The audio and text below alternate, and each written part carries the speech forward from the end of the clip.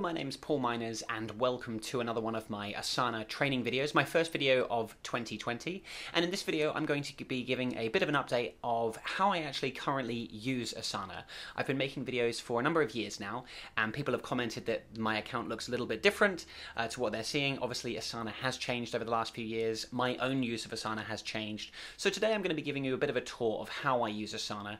Uh, if you want to get some one-on-one help with Asana after watching this video, there are details in the description below of how you can uh, learn about my consulting services. There's also details of how you can sign up to my newsletter and get uh, alerted about new videos and tips and tricks that I'm sharing as well. And of course, if you do have any questions, please feel free to leave me a comment below as well. So let's get into it. Let me just start by saying as well, this is how I'm currently using Asana. Obviously, I'm running probably a very different business to you, or my use of Asana may be very different to you. And that's totally fine. Asana is going to be used differently for different types of people and businesses. So just because this is how I use it, doesn't mean this is how you should use it. The purpose of this video is purely to give you an idea of how uh, someone like me, an individual, or someone managing a few people, is currently using Asana and maybe it'll give you some ideas. So let me start by explaining my project structure. So I do have an organization, which is paulminors.com, which means I can have multiple teams. I actually only have one team, which you can see here, paulminors.com. So yeah, running a small operation, I'm really just managing myself, my wife, I have a developer who I often delegate tasks to, and a virtual assistant. So being a small operation, I have just one team with all of my projects in it. So here we can see them on the left. I have a timeline, which I'll come back to in a little bit. But then really most of my works lives in these sort of category projects like business, um, so this is sort of general marketing, accounting, any kind of just admin of my business, I will create tasks in here. So you can see actually a lot of these, if you look at the date column here, a lot of these tasks are set to repeat. So things like checking my monthly Google Analytics, filing GST tax returns, these things that I have to do on a weekly, monthly, or even biannual basis. I have a lot of these types of things set to repeat. And so this project is not really a project, it's more of a container for tasks and things that I need to do. And actually, I'll take this opportunity to point out some goal planning that I do in Asana as well. So here's just an example. These aren't real goals, or some of them are. But um, yeah, how I do goals is I have a 2020 goals set up as a milestone, and then I've got some some personal and some business goals of things that I want to achieve. So these are really just set up as subtasks. Now what I can actually do is when I'm ready to start working on a goal uh, is I can take one of these, let's say I'm going to do this mastermind retreat in Hawaii. If I click into this and come up to my menu, I can actually add this to a project. Where am I going? Um, add to project, there it is. And then I could add this to like my timeline. So I can actually index it into another project where I want to see it when I'm ready to work on it. And I could even set the date. Let's say we're going to do this. I'll just say we're going to do it in March. So we'll say maybe there.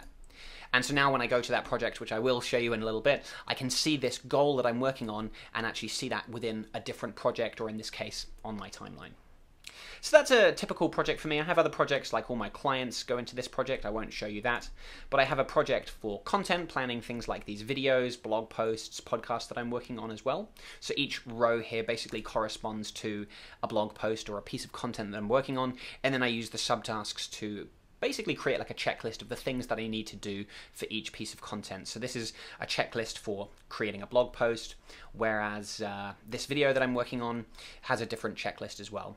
And so that's how I'm using the subtasks there.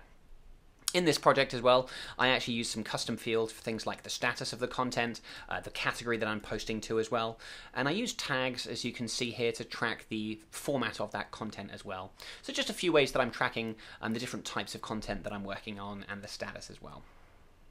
Again, I have another project for kind of sales. So similar to the business project, this is more sales orientated tasks. So for um, things that I'm working on to do with my products, consulting service, things like that, those types of tasks just get put into here so I have a nice easy place to organize sales related work. Now I actually made a video, a separate video about this recently, about how I'm using this timeline. So you can definitely go and check that out. To give you a bit of a flavor for it now, this timeline is basically my sort of mid to long term view in Asana so I can see what I'm currently working on this week or the next coming weeks or even months for that matter. Now, if you uh, watch that video where I explain it in a bit more detail, but these tasks that you're all seeing here actually live inside other projects. So for example, recording this batch of videos is in my business and content project, but I add it to the timeline as a way of seeing how it fits in over the coming weeks and months. So if we look at actually that Hawaii retreat, that's it down there.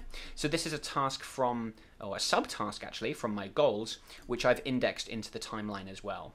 And so you can see it's a very nice visual way of being able to see what do I have coming up over the coming weeks and months. Um, so yeah, uh, really nice. Actually, this is one of my favorite views to now look at in Asana, but definitely go and check out my other video where I explain this in a bit more detail. Now, as you've probably seen me talk about many times before in my videos, I use the My Tasks. This is sort of one of the most important screens in Asana for me. It's where I work on a daily basis to see the tasks that I'm working on today, tomorrow, and really coming up over the next week. So this is my sort of short-term view of what I'm working on. I've got some subsections here for organizing tasks into the morning and afternoon. Uh, upcoming, I sort of organize some stuff that I'm waiting on or thinking about from stuff that I have coming up planned to do over this week and next week as well. So it's really nice to just have a quick list of this is what I have coming up over the next seven days. And you can see these tags here, these numbers 60, 95, 15. These basically represent how long the task will take. So I have some calls coming up that take 60 minutes. Um, a task here that should take 15 minutes, for example. And so I just use the tags as a visual way of sort of seeing how long the task I think will, will take. But yeah, this is one of the most important screens in my opinion in Asana. It's a screen that I probably spend about 90% of my time on. When I'm just organizing myself and planning my time, I'm usually on this My Tasks page. Then we have some reports over here. So I've created some custom views for things like tracking my team's workload. So if I show you the search criteria, this is basically showing me any tasks assigned to these people that are incomplete. So it's a really quick little way that I can see just look what have I assigned to these to these other people on my team so I can quickly check in with any of these items. I have another report for things that are due tomorrow. Uh, this is really quite simple. It's anything assigned to me that is incomplete due within the next day. And this is actually something I'll look at at the as part of my end of day routine. I'll look at this to actually before I go home plan my tasks for tomorrow, make sure I've got them blocked out on my calendar, and just sort of plan my day before I go home so that the next day I come in and I'm kind of ready to go, I know what I'm doing. And then another report here, client calls. I've actually defaulted this to the calendar layout. This is showing me tasks in the client's project that has one of these tags. So it's basically any calls with clients that have, that have booked with me. So it's sort of a nice, just quick calendar that I can look at to see how many calls I have coming up on a given day. And then finally, I have this personal project as well. People often ask me if I use Asana for personal tasks, and the short answer is yes, I do. Basically, anything to do with these sort of categories here finance, uh, health and fitness, personal development, holidays and things. I've got some important dates down there that I need to remember, um, birthdays and anniversaries and things. So I actually do use this for personal as well. And because I assign these personal tasks to myself, they all show up on my tasks as well. Um, so I can kind of just have one master to do list to do list of my personal stuff and my work stuff all in one place. I don't have to be jumping between different tools. So, as I said, please let me know let me know if you have any questions about this setup. Um, I know everyone uses Asana a little bit differently. I hope this has maybe given you a few ideas. Thank you very much for watching, and I'll see you in the next video.